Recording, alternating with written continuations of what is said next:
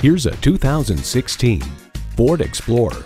The adventure starts where the pavement stops in this capable SUV. A great vehicle is comprised of great features like these. Auto-dimming rearview mirror, sync services Wi-Fi hotspot, heated and ventilated leather bucket seats, integrated navigation system with voice activation, automatic transmission, dual zone climate control, memory exterior door mirror settings, Bluetooth wireless audio streaming, hands-free liftgate, four-wheel drive, and V6 engine. The Car Connection notes performance in government crash tests is good. Ford, where tradition meets innovation. You'll never know until you try. Test drive it today.